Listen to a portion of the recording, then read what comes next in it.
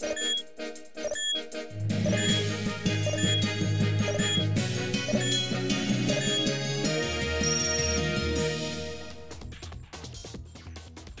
Este día se celebra el Día Nacional de Trasplantes de Órganos y Tejidos. Del mismo modo, se inauguró la decimosexta edición del Congreso Nacional de Trasplantes, en el que especialistas en la materia se reúnen para tratar temas de actualización y cultura de la donación. Jalisco es eh, uno de los estados que tiene muchos logros en materia de trasplantes. Hay que decirlo, este año hay más de 4.000 trasplantes, más de 4.300 trasplantes en lo que va del año. El rector del Centro Universitario de Ciencias de la Salud destacó la importancia de prevenir para no incrementar la lista de espera de pacientes por algún órgano.